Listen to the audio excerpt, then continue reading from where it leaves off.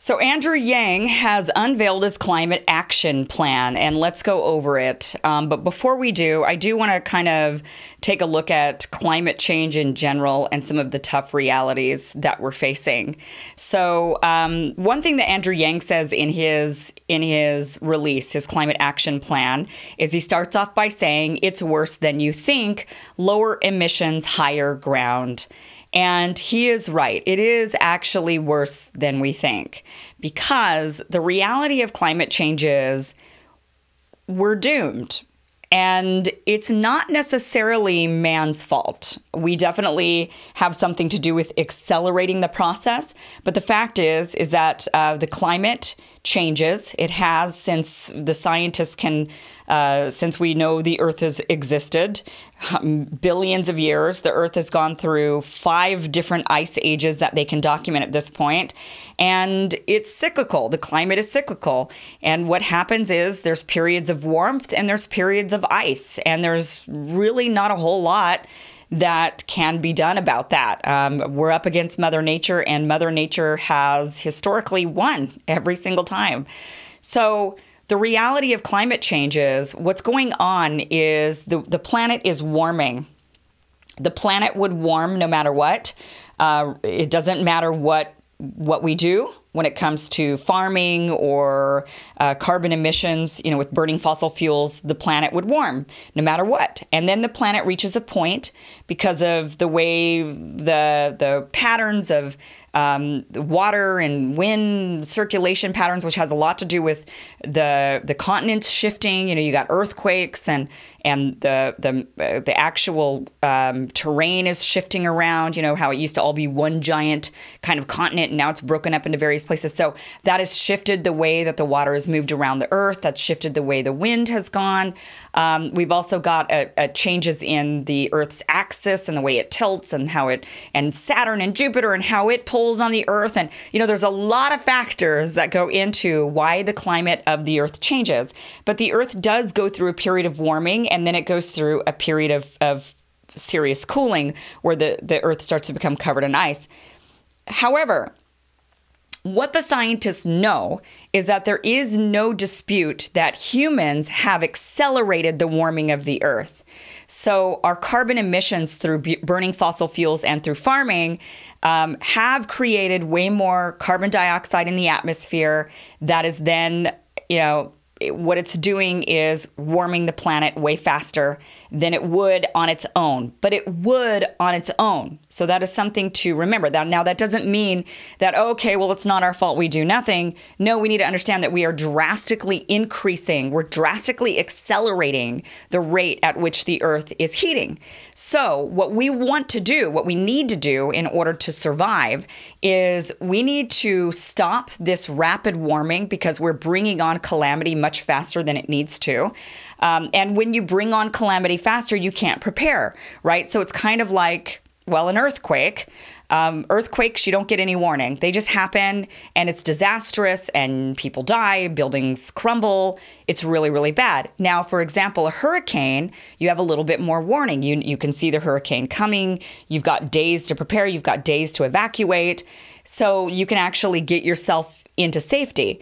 So that's kind of the difference. When you, as we're, because we're accelerating the Earth's the heating process way faster than we should, we're actually shortening our window to prepare for what is going to be fairly disastrous, which is the the ice melts, and when the ice melts, the oceans rise. So that means those of us who live on the coast, you know, I live in Los Angeles, would need to move inland. It's kind of the joke of Kansas having some beachfront property, but Maybe. Um, the oceans would rise, the water would then flood in. So you would have cities that go underwater, which we're already seeing around the world. Um, and obviously, areas get really hot. And because of the, the heat, we're already seeing right around the equator. Now, I know everyone's kind of freaking out about the Amazon fires, and that is something to freak out about. But if you actually look at the entire, if you look at the NASA imagery of all the fires going on around the world, it's not just the Amazon that's burning, it's actually the entire equator that is burning. If you just look here, it's just south of the equator. Uh, you've got Africa is very much on fire, more so than the Amazon. You've got you go into Asia there, and you've got fires going on, and it's if you look, it's a straight line all across the world, and that area right there, right around the equator, the hottest part of the world, is lighting up in flames because the earth is the earth is heating up. And as it continues to heat, as our temperature and climate continues to increase, we're going to see more and more of this devastation. And of course, as we see the devastation of these forests, which provide a lot of the oxygen that we breathe, we're going to have uh, air that's not nearly as clean. Obviously, there's going to be fewer areas to farm, so people are going to have famine. Uh, water is going to be an issue. You know, we're going to we're just seeing a lot of issues to where the population in the world is probably going to end up uh, forcefully decreasing because people will be dying off from heat and famine and fire. It's going to be devastating. So, we are dealing with a serious situation, and Andrew Yang is not wrong when he says it is worse than you you think lower emissions, higher ground. He's right. All when you look at that equator imagery that I showed you and everything's on fire, these people need to move to higher ground. If you're at the equator, you need to go north. Now, um, the reality of the situation also is that then there'll be an ice age and the north will be covered in ice. So, all of Canada, most of North America will eventually be covered in ice. Now, this is going to be thousands of years probably. So, it's not anything you and I have to deal with in our lifetime, but it is something that we would want to maybe think about and maybe prepare for so that future civilizations would be able to. Um, uh, also survive an ice age, for example. So we've got to first, though, think of the imminent danger that we're in, and that is that the Earth is heating up. People that are close to the equator are going to be, it's going to be really tough for them. Um, and we might want to consider moving people in the world to higher ground. And if you're near an ocean, you might want to start thinking if you think long term like for myself i think well maybe one day i'll buy a place in la and then i think probably not a good idea considering what's going on. It's probably best to move more inland right? Maybe go back to idaho where it's cooler because it's higher ground and it's away from the ocean. So it is worse than it, we think. Um, it, so when people you know the climate change deniers they're not 100% wrong when they say okay well it's not it's not humans and this is all a hoax. It's not a hoax by any means. The earth is heating up. I'm sweating in here right now. It's but it's not all man-made. The earth is going to increase no matter what but we certainly don't need to be accelerating it. And we also need to be just taking care of our habitat. I mean that should just be kind of basic common sense right? You know clean up your air keep your ground you know keep your soil fertile and uh, don't ruin stuff. So let's go over Andrew Yang's ideas for lowering carbon emissions so that we can stop the acceleration of the heating of the earth that we're currently doing because we're doing it at a very rapid rate what would maybe take uh, 10,000 years or 1,000 years or less we're making it we're shortening that time and in the meantime people will die of famine pretty quickly within i mean now people are dying now so it is something that we definitely need to be addressing immediately. Um, his plan is to build a sustainable economy by transitioning away from fossil fuels to renewable energy. He wants to build a sustainable world. Fair enough, right? He wants to move our people to higher ground. He says natural disasters and other effects of climate change are already causing damage and death, and we need to adapt our country to this new reality. And he's right. We do need to be realizing this. Uh, be smart. Also, he says we need to reverse the damage that we've done. We need to be researching that, and we need to hold future administrations accountable. He's saying that he wants to pass a constitutional amendment that creates a duty on the federal and state governments to be stewards for the environment. I think that's great. Now, he proposes we go nuclear. And this is not exactly popular with a lot of candidates. A lot of people don't really want to go nuclear. I even have some hesitations to it, but I agree with Yang um, it is the best solution we've got, and we probably should be seriously considering it. Now, he's saying that nuclear power is a crucial component in the move towards creating sustainable carbon free energy for the United States. However, many people, including some other candidates, dismiss it out of hand. Why does it have such a bad reputation? He says two reasons. First, the public's perception of its safety has been skewed by TV shows like Chernobyl and The Simpsons. Second, nuclear waste is dangerous and long lasting, and disposing of it is expensive. Both points are less of an issue with modern reactors. Nuclear causes orders of magnitude fewer deaths than fossil fuel based energy, and that's not even considering the long term impact of climate change from burning fossil fuels. He goes on to say with modern reactors, safety is drastically is drastically increased and nuclear waste is drastically decreased. After the completion of the Manhattan Project, America explored the option of using thorium as a potential source for civilian nuclear power. In the 60s, the United States experimented with a thorium reactor to generate power, but the project was shelved in the 70s. All the while, research into nuclear fusion devices continued in labs throughout the United States. Why did we go with uranium instead of thorium?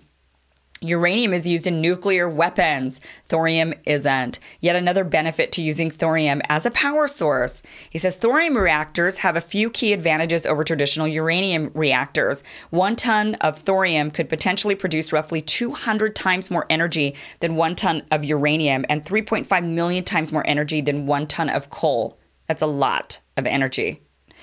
There is roughly three times more thorium on Earth than uranium, and we're already mining it as a byproduct of other rare earth element mining. Right now, we're literally just burying it back in the ground. Thorium mining is substantially safer than uranium mining. Thorium's primary ore, mon- monazite, is retrievable from open pits, which receives greater ventilation than the underground shafts from which uranium is mined, decreasing miners' exposure to radon. Thorium reactors produce less waste than uranium reactors.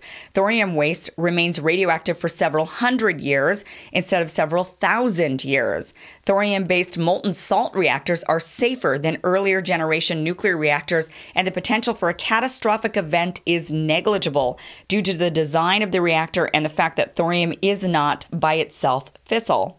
Nuclear isn't a perfect solution, but it's a solid solution for now and a technology we should invest in as a stopgap for any shortfalls we have in our renewable energy sources as we move to a future powered by renewable energy. So he wants to go nuclear. I think after reading his proposal and kind of looking more into it, I think he's right. I do think that I don't think we have a choice, guys. And I know it isn't a perfect solution. And I think Andrew Yang's right. It's not. But it is a viable, quick solution to quickly stopping the amount of carbon emissions that we are emitting into the atmosphere. We're also going to have to look at uh, more sustainable farming practices. So it's not just the carbon emissions through burning fossil fuels, but it's also our farming. And we've got to get we've got to get realistic about this. And not only that, but then we need to start thinking about more solutions because when we stop with, you know, we start with step one, first of all, let's get everybody on the same page and understanding that, look, we are radically increasing the speed at which the earth is warming. And we as people need to stop that so that we can come up with a, uh, we have more time, we buy ourselves more time to then come up with more plans for how we're going to sustain and survive as the earth inevitably heats up. There's nothing we're going to do to stop it. And then it's inevitably going to cool way down. And we're not going to be able to stop that either. But what we can do is start thinking of solutions together. We can, we've got to stop this partisan um, bickering back and forth and saying, "Oh, you know, it's not true," and um, and you know, we kind of are going through this this um, and and then also saying things like, "Oh, you know, humans are causing the end of the world." That's really not true either. The it's going to happen whether humans are here or not. These cycles of the earth heating and the earth cooling are going to happen. We could all become extinct tomorrow, and it's still going to happen with or without us. But if we can at least come together and understand that, and understand that it's going to happen no matter what, and it's also happening faster because of us, then we can start coming up with solutions for what are we going to do to stop this ex- rapid acceleration that we're creating. And then after we do that, what are we going to do when with this inevitability. How are we as a as a human species going to come together to say look guys we need to figure out a way to survive and that need that means uh, we can't keep people trapped in their countries in certain areas and telling them that they cannot leave when their part of the world uh, they happen to be born in a very unlucky spot that is literally burning up in flames I think we need to kind of re-gear our thinking on how we deal with borders and immigration, migration, hum, you know, human migration patterns and whatnot. We might need to start having some serious discussions on rethinking all of that and what we can do to keep humankind um, to survive this time around. So that is what's going on now. Um, and I think Andrew Yang has a really good plan. I'm on board for this. What what I am really interested in seeing is that CNN is actually hosting a seven-hour climate change town hall. They're calling it. Um, it's a marathon where they're going to have ten candidates, including Yang, um, get up for 40 minutes each and talk about their climate plans. And so each candidate will have their opportunity, each of the 10 candidates will have their opportunity to get on stage and really really lay out their plan for climate change. I think it's great that they're doing that. I, I'm going to be interested to watch it myself or listen to it on, you know, through satellite radio or something. But I am really disappointed that two candidates in particular are missing from this conversation. And that is Jay Inslee, Governor Jay, Jay Inslee, who has a very comprehensive and solid climate plan and I think he should be heard, even though he's he hasn't made their qualifiers. Now, the way that CNN has decided who's going to be a part of this town hall, they're using the same criteria that the DNC is using to decide who's making the September debates. That is 130,000 unique individual donors plus four, uh, 2% in four of the polls. So Jay Inslee didn't get either of those, and so he's being left out of this debate. I think that is a big shame. I also think it's a really big shame that Tulsi Gabbard is not going to be in this because she also has a very comprehensive um, sort of Green New Deal, if you will. It's not called that, but it's an extremely comprehensive, well laid out plan. And I think it's really a shame that she's not also going to be included in this because we need to be hearing from candidates who do have solid plans. There's a lot of candidates that just say, yeah, we got to do something about it but what? And I and I actually I'm interested in hearing from some of them.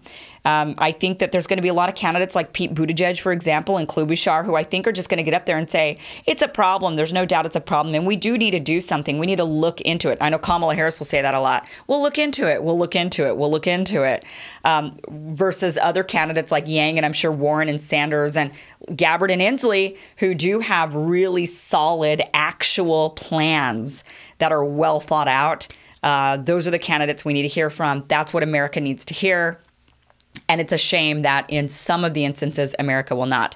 But we at least will be hearing from Andrew Yang a bit. I do think that he's a bit shocking for people because when he says, look, it's real, it's it's worse than you think, lower emissions, higher ground, you know, when he says, get people to higher ground, this is bad, people kind of think, oh my gosh, you know, what kind of a heretic are you? And actually, he's right. He's totally right. And that is the unfortunate reality about it. So, Thank you so much for watching. Um, if you would like to support this show, I have links below for Patreon and PayPal. I do appreciate your support. And I will be back again with another video. Thanks for watching.